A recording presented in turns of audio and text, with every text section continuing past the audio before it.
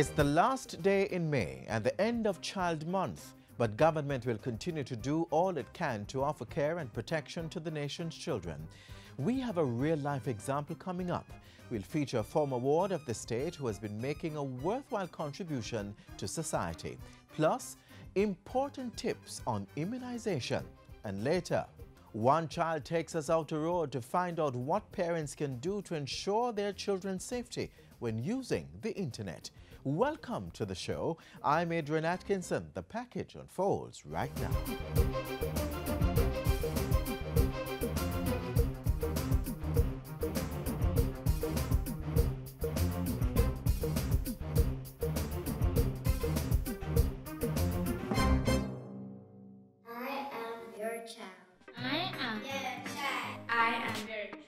I am your child. I am. Your child. I am your child. I am your child. I am your child. No child is just your child. No child is just my child. Every child is Jamaica's future. Every you coming like Amayu. We must do better. I am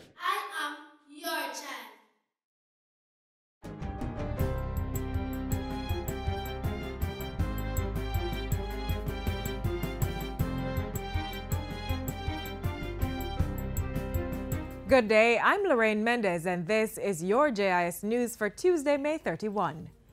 Effective today, May 31, the Bank of Jamaica has reduced the rate for its 30 day certificate of deposit from 5.25 to 5%. The 30 day certificate of deposit is the benchmark for other interest rates, and lending facilities linked to this policy rate should fall by a similar 0.25 percentage points.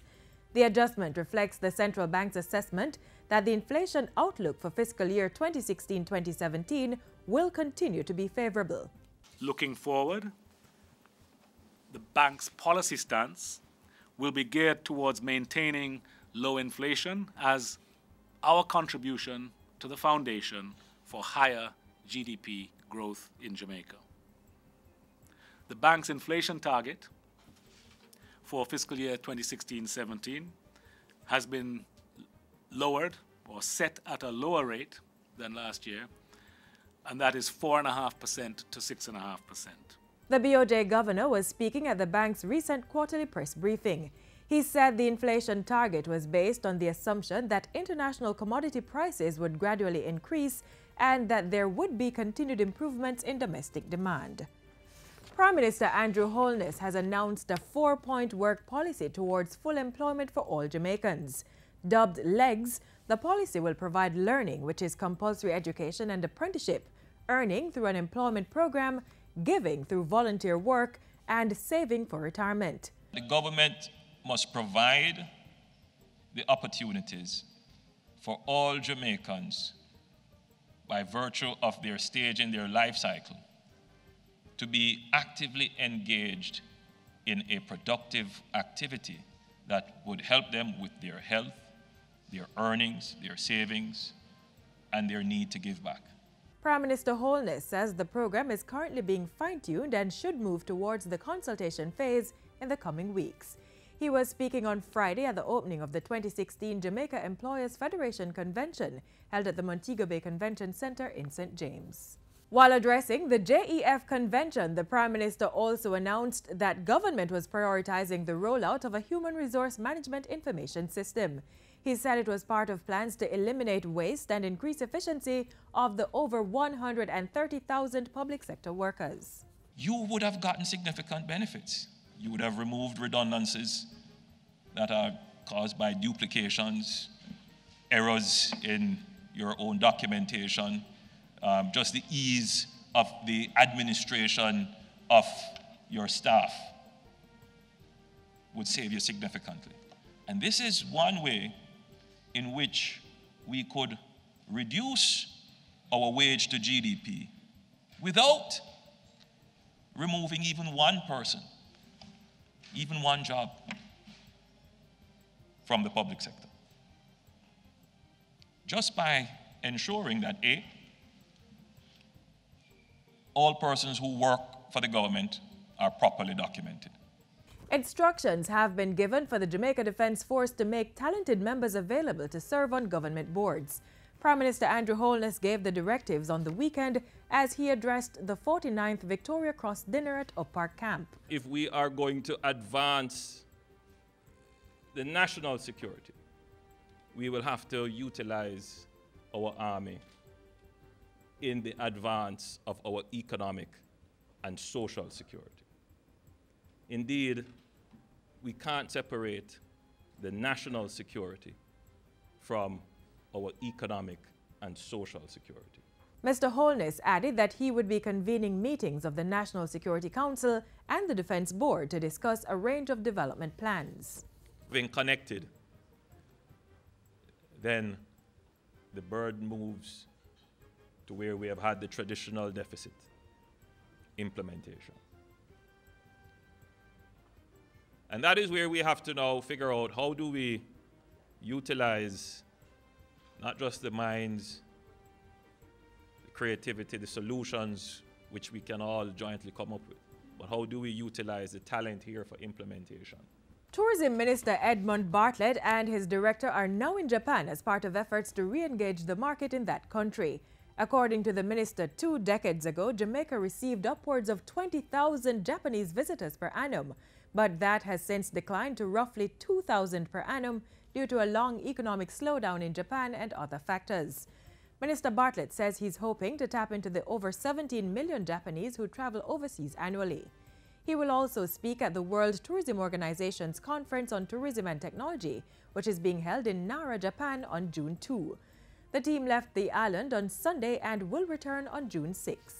And finally, the Creative Production and Training Center, CPTC, has relaunched and rebranded its cable channel to share content devoted to Jamaican stories and experiences. Jam Vision is now up and running on Flow Channel 116 and Digicel Play Channel 18. It has been lauded by Culture Minister Olivia Grange. While addressing last Thursday's launch at the CPTC studio, she said Jam Vision would play a great role in strengthening the cultural identity of our people and serve as a vehicle to share more of our stories abroad. Our cultural agreements with friendly countries have spaces for the exchange of content and partnerships in the creative industry, such as in the area of film. These are avenues that CPTC must now engage to ensure that elsewhere in South Africa, Cuba, Colombia, etc., our images are shared in light of the global attraction to and the taste for Jamaican creative products and services. And that's it for JIS News today. I'm Lorraine Mendez. Thank you for watching.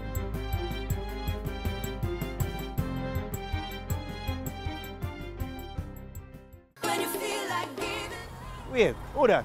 Colin, hey, what going? You know, say, I'm on my way to go look about the farm work program. Aye, I love to do the farm work program there, you know. But remember, me serve a five-year prison sentence for a minor crime. Them can clear it, you know. Yes, Colin can get his record expunged. Expungement is having a conviction removed from your criminal record after certain specifications have been met. Visit the Criminal and Civil Justice Division in the Ministry of Justice for more information. Last Tuesday, we introduced you to Athoy Neal, a former female ward of the state who is now a marketing assistant. Today, we are featuring another former ward of the state who resided at the Maxfield Park Children's Home. Through support from the Child Development Agency, he is now proud to be called an overcomer.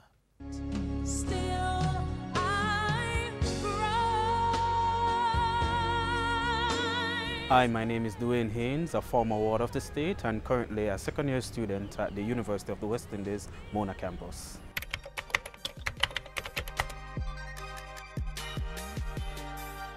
I ended up becoming a ward of the state because my mother became mentally ill shortly after I was born. I ended up on the streets and from there the police came and took me to the Maxfield Park Children's Home where I stayed for the first eight years of my life until my grandfather became aware that I was in the Park Children's Home and came and took me as a foster child. Being a foster child meant that I was in the direct care of a parent or guardian or somebody who the state vested their trust and interest in. But at the same time, I was still under the ambits of the state per se.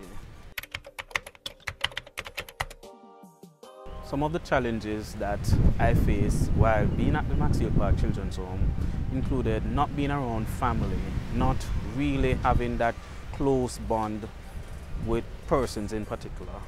At present, um, I'm kind of having those challenges, but it has improved drastically since I ended up being with my grandfather, who, though at the time he was past the age legally to adopt or to foster a child.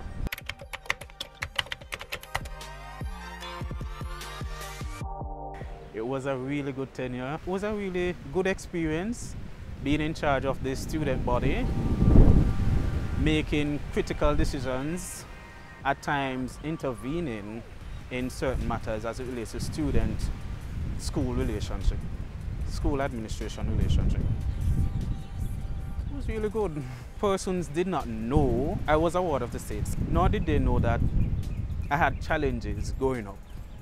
Because my grandfather always instilled in me that you must always carry yourself in such a manner that you blend in, but at the same time you stand out. So persons don't need to judge you on that basis that you are a ward of the state or you are a bit less fortunate than others. They need to judge you based on the characteristics which you display to the world. And that's what I took.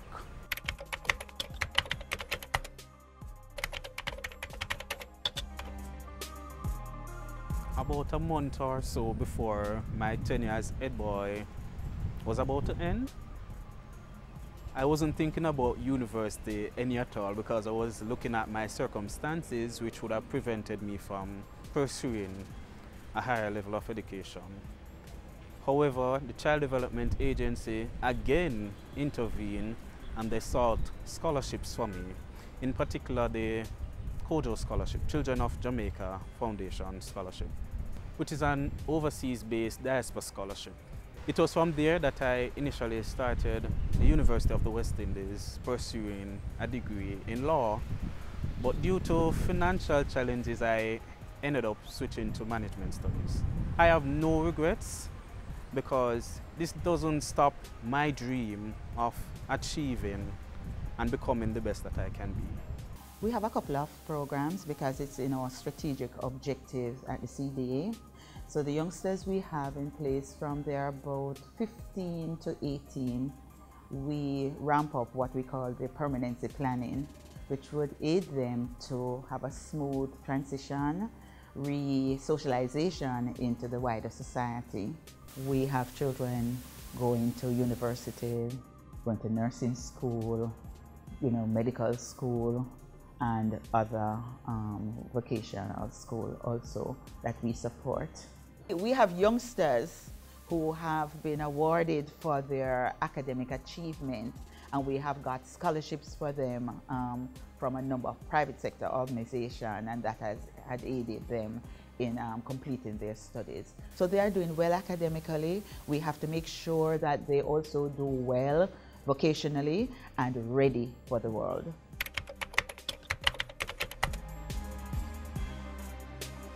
My ultimate dream is to become the Prime Minister, but in the next couple of years, leading up to that, I plan on working in the public sector to give back meaningfully to the holistic growth of Jamaica.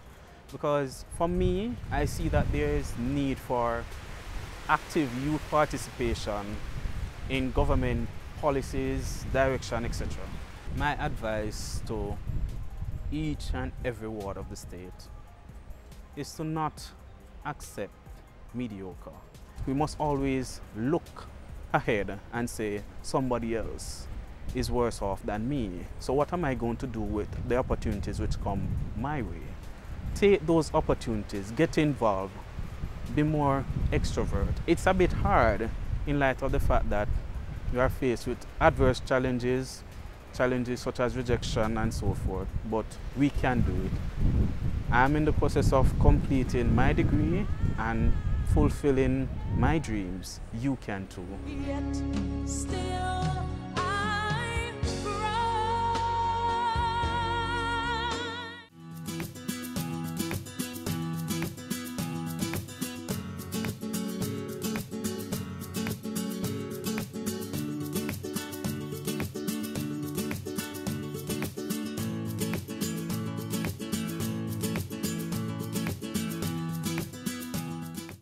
Immunization is important. It protects both children and adults from some illnesses and diseases. In today's Health Wise, we turn the spotlight on the topic.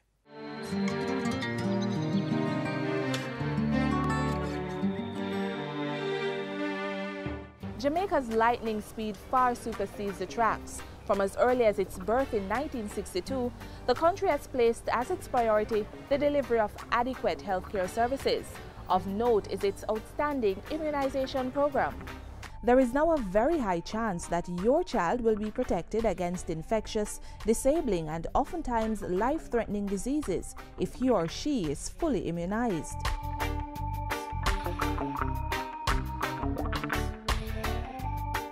Jamaica has been successful in eliminating a number of vaccine preventable diseases. In 2011, the country achieved a 100% coverage for tuberculosis, 92% for poliomyelitis, diphtheria, pertussis or whooping cough, tetanus or lockjaw, hepatitis B and Haemophilus influenza type B, and 88% coverage for measles, mumps, and rubella MMR. Globally, vaccine preventable diseases still account for some 3 to 4 million deaths per year, and about 80% of these occur in children under 5 years of age. Luckily for us in Jamaica, through the success of the immunization program and improved coverage, we hardly see any of these vaccine preventable diseases here. This magnanimous achievement took intense efforts from the Ministry of Health. In fact, the transformation began in September 1977 when the expanded program on immunization EPI was established in Jamaica. What the expanded program of immunization has done over the last 30 to 40 years has transformed the health of our young children. Whereas we had epidemics of polio, measles, rubella, congenital rubella syndrome, and other childhood infections by having high levels of coverage using the standard vaccines that we give in our health services, we've been able to prevent these childhood diseases. So we do have a lot to be proud of. One merely has to step back in time to the early 1950s to understand the strides made in ensuring that every child is fully immunized. Then, paralytic cases of polio reached epidemic proportions in Jamaica. Few or no children under the age of four were immunized. In 1954, the attack rate was about 174 per 100,000.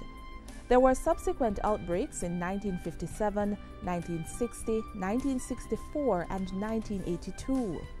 One of the things that came home to everybody um, was that was a wake-up call that we had to implement a full the, um, established immunization program as part of our maternal and child health program. And so we began the process of building on that epidemic to systematically develop um, the program of immunization.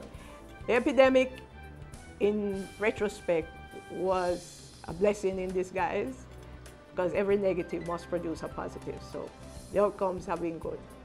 With the introduction of the Salk vaccine, the effects of polio became less lethal, and there has been no record of the disease in Jamaica since 1982.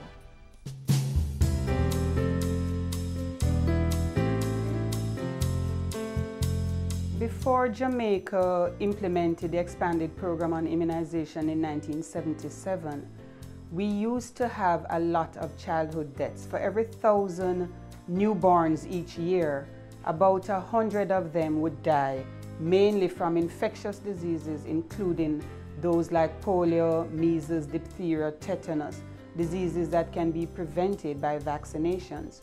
However, since the implementation of the EPI program, and the establishment of routine immunization in children under the age of seven. Infectious diseases, in particular the vaccine preventable diseases, are no longer as common as they used to be before the immunization program was established.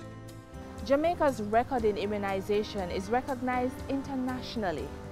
In 2011, Jamaica was awarded the Pan American Health Organization's Henry C. Smith Immunization Award.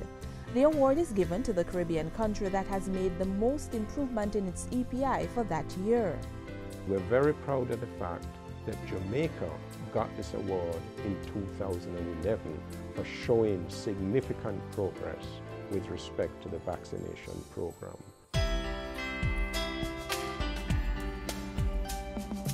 The significant reduction in infant and child mortality points to the Ministry of Health's stance in propagating holistic health island-wide. Universal immunization coverage is well within our grasp. If you want to learn more about the immunization program in Jamaica, contact the Ministry of Health at 967-110024 or visit their website moh.gov.jm. You may also visit any health center or public hospital close to you. Your doctor's office could also answer your questions about immunization.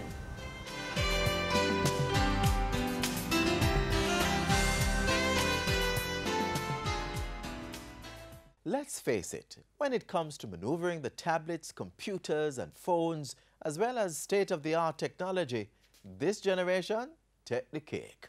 They are familiar with everything. They even know more than me as an adult. While we're happy with the progress, we also have to be careful as there are many dangers lurking online. What can parents do? Dominic poses the question in this special Child Month edition of Outer Road.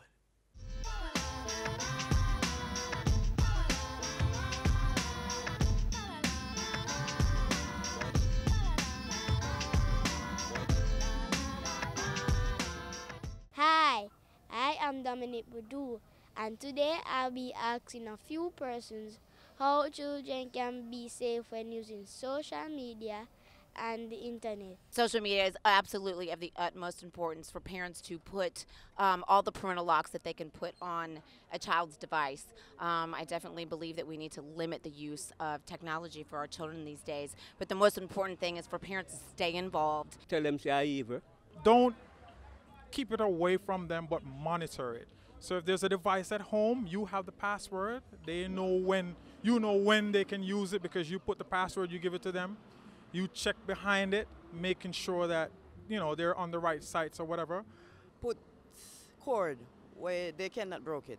As long as they can break those cord, cause even a three-year-old can open a phone right now. Cause my three-year-old is quick on that and I never teach him nothing like that. But as soon as my daughter put on her phone, him open it. So all you have to do, put devices on it where they can break it. Send out more information about how to keep how children can keep safe by not sending out personal information on social media. Well, from once a child is underage, you have to protect them from the social media because a whole lot of things gone widespread. So you just have to do the correct thing. I hope you have received some ideas on how you can ensure that your children are safe when using social media and the internet. Thanks for watching.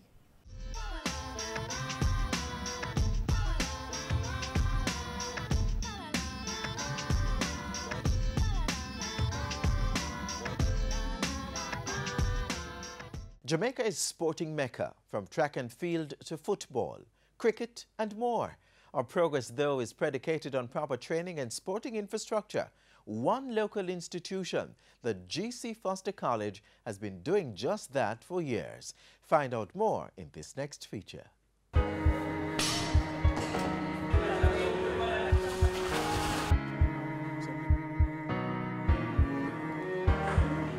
Conditioning the body and mind. Contributing to holistic development. This can be your experience at the GC Foster College of Physical Education and Sport, the only institution of its kind in the English-speaking Caribbean.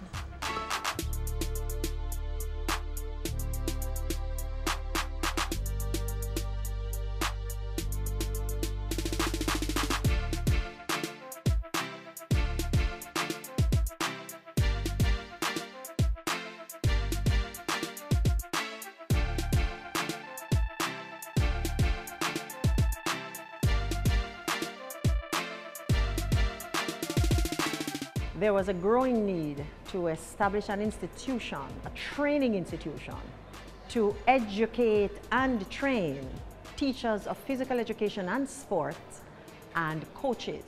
GC Foster not only fulfilled the mandate locally, but we are now reaching international countries. We are not just known as the home of world-class coaches, but we're producing world-class athletes as well. The institution uses state-of-the-art equipment, including a new 400 meters track donated by the Sport Development Foundation and international comparable training techniques and technology to teach the importance of physical literacy and sport, opening doors for careers in multiple fields, from event management, massage therapy to fitness instruction. The institution offers various levels of education, from certificate to postgraduate. There are quite a few programs that we do offer that you'd call uh, not necessarily conventional programs. We try to get the students optimally rounded so they can introduce different sporting activities to the students when they go out in the world of work.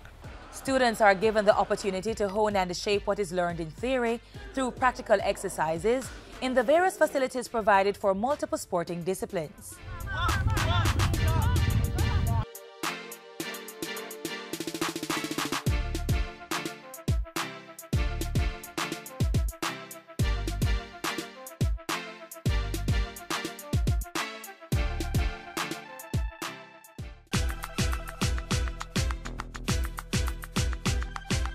For the past 36 years, the GC Foster College of Physical Education and Sport, with its well-trained staff, has been providing Jamaica and the world with physical education and sport specialists. GC Foster laid the foundation for a scientific understanding of the sports science and its various disciplines, track and field, football, volleyball, basketball, and so on.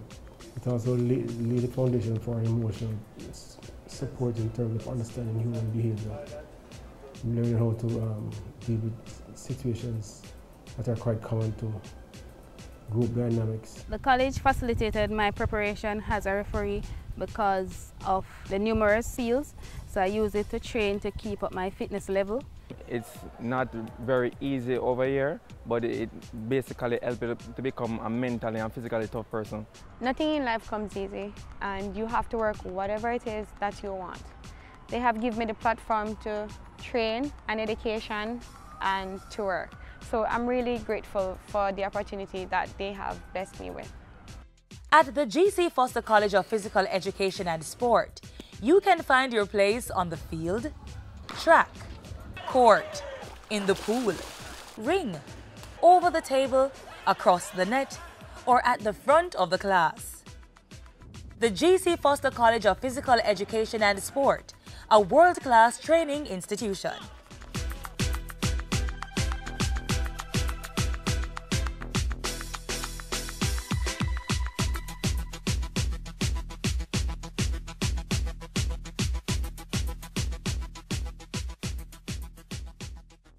We've come to the end of another edition of Jamaica Magazine. Keep abreast of all our offerings by visiting our website, jis.gov.jm. And yes, JIS website is kid approved, so children, be sure to check it out.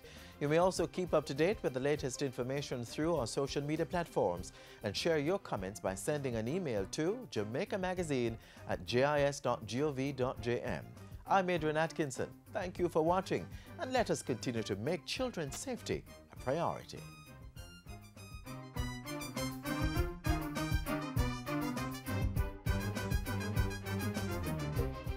This has been a production of the Jamaica Information Service, the voice of Jamaica.